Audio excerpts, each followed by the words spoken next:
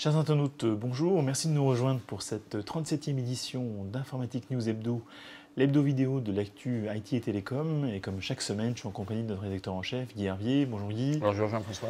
Alors Guy, premier sujet, euh, ben, on continue la saga HP. Je dois dire d'ailleurs HPE et non plus HP Inc. Hein, puisque nouvelle scission au royaume d'HP de la partie euh, service. Absolument. Donc euh, on, rappelle le contexte. HP c'était déjà, effectivement, ça commence à être un peu compliqué. HP s'était séparé en deux. HPE d'un côté, donc tout ce qui est entreprise, euh, donc serveur, logiciel et puis service. service. Et puis HP Inc. c'est impression et PC. Euh, donc HPE euh, a annoncé ses résultats la semaine dernière et à cette occasion, Meg Whitman a annoncé que, en gros, elle extrayait la partie service euh, de HPE, donc qui est une partie importante, hein, beaucoup de salariés, pour la fusionner avec CSC. CSC, donc l'entreprise de services américaine.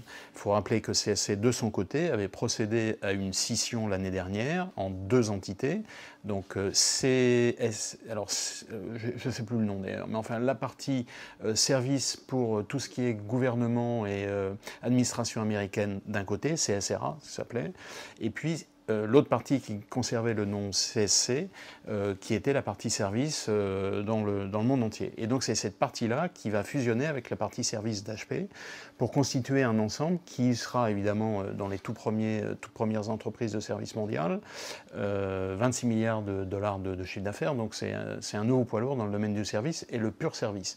Donc les, les conclusions de tout ça, enfin en tout cas les constats qu'on peut en tirer, c'est que, un, la, la stratégie de Carly Fiorina de faire une entité qui recouvrait euh, matériel, logiciel, service, bah, elle explose en vol.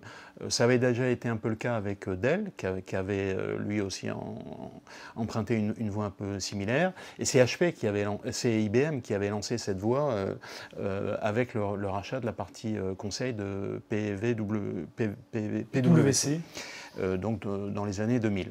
Euh, donc c'est euh, un, inversement de, tendance très très important. le deuxième constat, c'est que suite à cette, alors je sais pas comment appeler ça, scission, fusion, le, titre, donc l'action des deux entités HPE d'un côté et CSC de l'autre a, bondi, donc 4 et 6 respectivement. Donc est-ce que c'est bon, est-ce que c'est pas bon? En tout cas, c'est bon pour certains, peut-être moins pour d'autres. Et puis évidemment, euh, dans ce genre d'opération, il, y a toujours la question de, l'emploi qui est posée, euh, à, savoir que euh, les consultants prévoient qu'il y aura dans la nouvelle entité service euh, ben, une suppression d'emplois. et je crois que les, plus euh, pessimistes parlaient jusqu'à 40% de, la masse globale. Bon, c'est sans doute exagéré, ça va prendre un peu de temps, mais ça va certainement arriver. Euh, sachant qu'en France, il y aura un transfert de plus de 1000 personnes de HPE vers CSC. Euh, donc c'est quelque chose aussi qui, pose de, gros problèmes, avec en particulier, euh, bon évidemment la, suppression d'emplois va, va, tomber jusqu'en France, et puis ce transfert d'emplois, de, euh, on, parle en ce moment beaucoup de la, loi M. Comrie, et évidemment le statut des, salariés d'HPE n'est sans doute pas le, même que celui des gens de CNC. La convention déjà collective n'est pas la même. Et pas la même, donc ça va, ça va sans doute poser de gros problèmes. Donc sur le papier c'est lancier, Maintenant, pour, la concrétisation tout ça, ça va prendre du temps. Et comme disait euh, Churchill, peut-être avec du sang et des larmes. Ben, très bien, on y reviendra sûrement. Alors, euh, j'allais dire sans transition, on parle de, big data et d'un sujet euh, sur lequel vous êtes revenu au travers d'un dossier, la problématique des métadonnées. Hein, si vous pouvez nous en dire un peu plus. Absolument. C'est euh, un peu abscon pour certains donc, donc effectivement, on a fait cette semaine un, dossier en, cinq parties sur euh, l'utilisation, l'application des, big data dans différents domaines. Donc, on a le fait dans le cadre de la politique, dans le cadre du sport, puisque c'est en ce moment le tournoi de Roland Garros. Donc, et bientôt l'Euro 2016. Et bientôt l'Euro 2016. Donc, dans le cadre de Roland Garros, en fait, c'est Infosys qui a changé, le, qui a amélioré le, la, manière de, de publier le, le classement ATP des joueurs avec beaucoup beaucoup plus d'informations. Le classement ne change pas, mais en tout cas avec beaucoup plus d'informations. dans le domaine de la santé, dans le domaine du transport. Et, donc le, premier volet de ce dossier concernait les, effectivement les, métadonnées. Donc vous vous rappelez, il y, a, il y a trois ans, suite à, l'affaire Snowden, qui en, gros révélait au monde que la NSA espionnait quasiment tout le monde, il y a beaucoup de, de gens qui ont dit oui, mais c'est pas très grave parce que c'est uniquement les métadonnées et pas c'est pas le contenu. Donc les métadonnées, c'est un peu l'équivalent de ce qu'on appelait à une époque les, fadettes en France. Donc en gros, c'est les données sur les données. Ça veut dire euh, quel numéro vous appelez, combien de temps ça dure, enfin donc les, les, données autour des données, mais pas ce que vous dites. Et avec euh, l'idée derrière de dire euh, bah, finalement, ce ne sont que des métadonnées. Euh, et donc il y a une enquête euh, qui a été faite euh, par trois chercheurs de l'université de, Stanford, qui, avec des, moyens, des moyens relativement rudimentaires, qui a étudié pendant donc, plusieurs mois, sur un échantillon de près de 1000 personnes, l'ensemble des communications téléphoniques, donc des métadonnées sur les communications téléphoniques, et puis des SMS. Et qui, grâce à ces informations, a pu récupérer des données extrêmement précises sur, les, sur les personnes en question. Bah, en particulier, euh, pouvait être capable de, dire que telle personne avait euh, euh, des problèmes cardiaques, que telle autre personne avait fait des, achats d'armes automatiques, enfin donc des choses très précises, sachant qu'en plus, une, fois que vous avez la possibilité de suivre une personne, évidemment avec cette personne, vous pouvez suivre la personne, les personnes qu'elle appelle, et ces personnes aussi les personnes qu'elle appelle. Donc en, deux bons, vous arrivez à finalement, euh, euh, je crois que le chiffre qui était donné, c'est 25 000 personnes, surveiller 25 000 personnes. Donc euh, finalement, les métadonnées auxquelles on peut accéder de manière assez facile, bah, finalement, et, là encore une fois avec des moyens relativement rudimentaires, permettent de révéler des informations extrêmement précises, euh, donc euh, des, données personnelles. Euh, et donc, on, imagine ce que ça peut être quand on a les moyens de la NSA. Donc, c'était en, tout cas le résultat d'une enquête très, très intéressante et qui pourrait être de nature de, changer finalement les conditions dans lesquelles on pourra avoir accès à ces métadonnées. Très bien. Alors on reste dans le marché de la data de cette manière, hein, puisqu'on parle de, de, CRM avec le Gartner qui fait je vais dire comme chaque année, un état des lieux du marché du CRM avec ses principaux acteurs.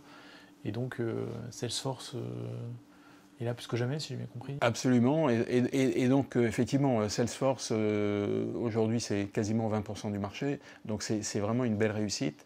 donc ça, c'est le premier constat. C'est que finalement, d'une start-up au début des années 2000... J'allais dire, c'était créé en 2000. Hein. Exactement. qui, 15 ans. 15 ans, c'est vraiment une très belle réussite. Euh, on, est là dans le B2B, donc pas, on n'est pas du Google ou du Amazon, on est dans un autre domaine, donc le, résultat est quand même euh, tout à fait euh, et, donc, qui s'est lancé d'emblée sur le SaaS, donc Software as a Service. donc c'est vraiment une très belle réussite et tout le monde a suivi derrière. Donc ça, c'est le premier constat. Le deuxième constat, c'est que, donc effectivement, le Gartner donne quelques chiffres, on, va se limiter à quelques-uns. Euh, c'est un, marché, donc marché, on entend par marché ici la, vente de, logiciels, donc soit une prémisse, donc sur site, soit euh, SaaS, en mode SaaS, c'est 26 milliards de dollars, donc c'est important. C'est un marché qui croît à 12% par an globalement, donc c'est important. Euh, beaucoup plus rapide que, beaucoup d'autres segments du, marché du logiciel, sachant qu'il faut séparer en deux. Le SaaS, ça croît à 27%, euh, on-premise, ça décroît de 1%. Donc on voit bien que les, deux sont oh, très, différents. Et puis, euh, dernier constat, peut-être, enfin encore deux, petits constats, c'est que euh, derrière Salesforce, qui est le leader incontesté, 20% du marché, on le rappelle, bah, finalement, les, trois grands du, de logiciels que sont SAP, Oracle et Microsoft ont réussi à reprendre la main. Euh, soit avec des, développements euh, en interne, soit par des, rachats, alors qu'ils avaient finalement euh, pris quand même un certain retard dans, ce domaine-là, puisqu'ils n'avaient pas impulsé ce, nouveau segment de marché, le, le, CRM, qui est devenu extrêmement dynamique. Et puis Adobe, qui entre dans ce classement du top 5, en, délogeant IBM, IBM qui avait quand même fait euh, du logiciel euh, un, de ses, euh, un, de ses, segments de, développement important, donc qui se fait déloger par Adobe, c'est quand même, c'est pas très bon signe. Donc on voit bien, le, le, SaaS a, le, vent en poupe, et, Salesforce est, vraiment le, leader de, ce marché. Ah, ça, c'était pour la semaine passée. On parle de la semaine à venir. Et on parle du nouveau partenaire d'ailleurs de, Salesforce. Hein, Amazon Web Services qui fait son Paris Summit 2016 euh, cette semaine. Absolument, donc euh, AWS fait, son summit un peu partout et donc évidemment il, pouvait ne pas, ne pas en faire un à, Paris, donc il fait tous les ans son, AWS Summit, c'est la semaine prochaine. Euh, donc ce sera l'occasion de, présentations intéressantes. Bon, c'est toujours le, le, CTO d'AWS qui, vient, qui vient faire sa, présentation habituelle, donc CTO européen. Euh, il y aura des, présentations d'AXA, Mairie de Paris, euh, euh, donc tout un tas de, grandes entreprises qui ont fait le, pari ou qui ont migré leur, leur SI sur, sur AWS, tout ou partie.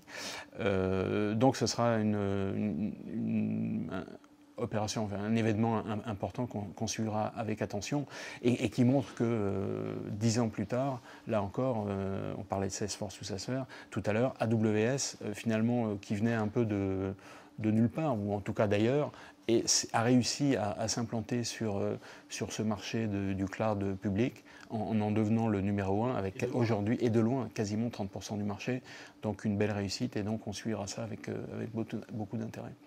Et puis pour conclure, eh on revient sur notre euh, coup de gueule, euh, entre guillemets, de la semaine dernière, puisque c'est suite, mais malheureusement pas fin, du procès. Euh, alors je sais pas, c'est Oracle versus Google ou Google versus Oracle. En tout cas, un petit rebondissement. En, tout cas, de deux parties opposées, ça c'est clair.